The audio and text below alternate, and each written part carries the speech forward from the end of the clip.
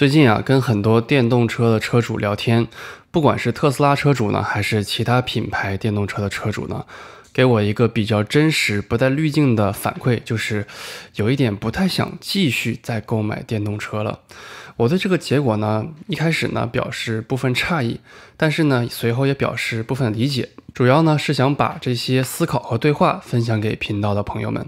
当然了。我们这个群体主要是北美啊，相信如果这个对话发生在国内，可能是完全不同的结果。今天呢，就简单聊一下为什么在这么多补贴、优惠政策的扶持之下。北美这些车主还是难以继续选择电动车呢？先从我自身说起吧。我从2020年购买了第一台电动车特斯拉 Model Y，不能说是最早的一批原韭菜，但也算是相对较早的人群了。起码在我当时的群体里面呢，圈子里呢，算是为数不多开电动车的人。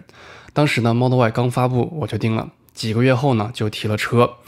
当时我人还在西雅图啊，一个相对比较接纳电车的城市。随后呢，也拍了一些视频，也创立了现在的频道。二零年买电动车几乎没有什么太大的政策优惠，当时特斯拉的联邦退税补贴呢已经用完了，州也没给什么奖励啊，充电桩的安装也没有补助，更没有什么电力公司的啊减免的措施。当时买特斯拉纯是这个一番热情。随后呢，二一年还经历了原材料的上涨。供应链短缺的一系列因素导致电车的价格一度飙升。不过那时候啊，大众好像对特斯拉的热度还是蛮高的，没有任何的减退。还记得当时的引荐新车主购买一台特斯拉呢，会奖励一千英里的免费超级充电。虽然呢只持续了十几个月就取消了，不过呢我回头看了当时的推荐记录，当记录在案的就有一百一十台以上。甚至二三年，我接近还有七万英里的免费超级充电桩用不完，然后到期归零了。随后呢，大家应该消费者都看到了啊，退税的补贴再次回归，更多的车型也加入了可以退税的行列。特斯拉的价格呢，也是一路的下跌。那些二手车贩子最怕的就是收特斯拉了，因为可能没过两个月，新车就降价，让他们无利可图。除此之外呢，其他的一些老牌的汽油车品牌的电动车也是雨后春笋一般的疯狂的推进市场。奔驰、宝马、奥迪、保时捷，什么福特、日产、现代、起亚、丰田，先后发布车型，且在二二年、二三年迅速下线啊！有一说一，如果去 4S 店里稍微对比一下，就知道，如果没有大额的促销、优惠补贴，真的有点难以下手购买啊！稍后我们再展开讲。再讲回现在的北美电动车销冠特斯拉，现在买特斯拉呢，部分车型除了送超充、送免费的 FSD 自动辅助驾驶之外，随着美联储的降息板上钉钉呢，特斯拉也是提前降低了这个贷款购车的利率，Model Y、Model 3最低来到了百分之一点九九，比我二零年买车的时候美联储利率几乎历史最低的百分之二点四九还要低。上两个月呢，还是说八月三十号截止这个贷款的折扣，但是刚看官网呢，又已经延长到了九月三十号。不出意外，随着美联储降息的一步步实施呢，特斯拉的这个优惠的扶持大概率也是会继续加长，甚至有可能加大力度。特斯拉还在上周呢，把他们的这个更新了他们的这个引荐机制计划，之前呢停了一段时间，对吧？新的机制呢，我的评价就是一句话。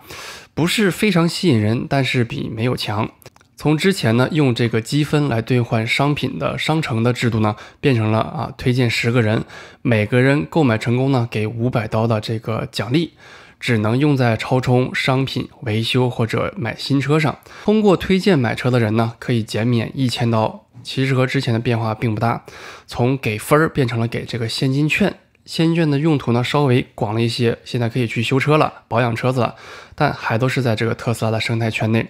大家感兴趣呢，可以用我的评论区的这个链接来订购车子。这也是销冠给全国的统一的补贴和优惠。其他品牌的车企呢，基本上都是走这种我觉得是杀鸡取卵的路子了。我前段时间去看了这个宝马的 4S 店，门口停满了这个什么 i 四、i 五、i 七、i 叉这些车的 MSRP 就是售价呢，一个稍微靠自己辛勤汗水赚来的钱的人呢，应该都是不会购买的啊。价格不管是和同级别的特斯拉比，还是跟同价格的汽油车比啊，都没有任何竞争优势。除了宝马之外呢，奔驰、奥迪呢也几乎是一样，就是正常稍微做过产品对比的人呢，都没法下手啊购买这些品牌的电车。于是呢，他们就在这个租赁市场上下足了文章。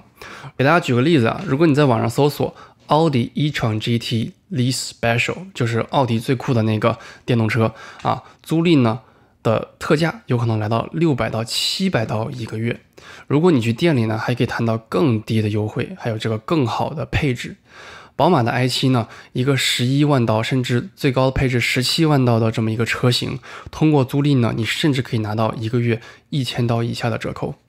当然了，这个例子里面的水很深，商家可以通过很多的手段和方式调节你觉得是一个很好的折扣。简单来说呢，因为租赁电车，你其实并不拥有这台车，所以联邦退税的七千五百刀车企是代替你领取的，包括其他州的优惠啊，还有退税回扣奖励，这些车企也是可以赚到的。除此之外呢，他们还可以通过税务局的这个加速折旧来更好的减少他们的税后收入。对于消费者可能感觉不到，但是他们可以给你更短的这些租赁合同，或者减少一些配置，或者减少一些保养，增加一些首付的方式，让你每个月的付款觉得看起来很吸引人。大部分美国消费者其实呢看的是每个月的支出，而并不是看到你到底拿到了多少的价值。OK，讲了这么多电车的优惠还有折扣，那么这些车主为什么不想继续了呢？我简单说两点啊，大家仅供消费者参考。我昨天去了这个 Newport Beach 旁边的这个 Fashion Island 逛街啊，看到了这么一幕，就是在商场停车场旁边呢，有几个这个 Electrify America 的充电桩，这个就是拜登政府大幅补贴的很多电动车都在共享的这个充电桩，一共呢为数不多的几个充电桩啊，还坏了一台用不了，然后呢就是比较长的队伍，甚至。商场都知道这是一个常态，还特意做了一个牌子，说你们充电的要在这边排队，不要挡着其他的车通行。可以看到啊，这是应该是一个不错的区域啊，停着的呢或者排队的车呢，都是这种奔驰啊、宝马不错的车型，电动车型。如果看售价都不便宜。我大致了解了一下这个 Electrify America 的充电速度啊，像视频里这种最快的充电桩，三百五十千瓦的充电桩，将市台里现在出现的这个。宝马 i 叉从百分之十充到百分之八十，大约需要三十五到四十五分钟；充满呢，大概需要七十五到八十五分钟。他们不像特斯拉车主，基本像在这里坐在车里充电啊，在这个广场上啊，基本上都去逛街了，对吧？那就是奔着至少一个小时起步充电算的。随后呢，我又多事儿去问了一下后面排队的车主，我说咱们大概每次啊来充电要排多久？他就说啊，我现在在这个车位啊，至少三十分钟到一个小时起，在我后面的位置呢，基本上就别排了，可以去找下一家充电桩了。那么，为什么这些车主还选择来这个 E A 来充电呢？因为呢，他们大多数买车的时候就送了免费的 E A 充电的配置啊，这个 package 对吧？而且很多人他其实并不具备在家里充电的条件，所以他只能来这充电。当采访了大多数车主的充电体验之后呢，得出的反馈基本上就是真的想换回油车。不过呢，像这些品牌的大多数已经在和特斯拉的超级充电网站这个谈合作，有的呢已经兼容了，有的呢像奔驰、宝马、奥迪可能要到二五年才会加入。希望那个时候啊，现这个充电状况会好那么一丢丢。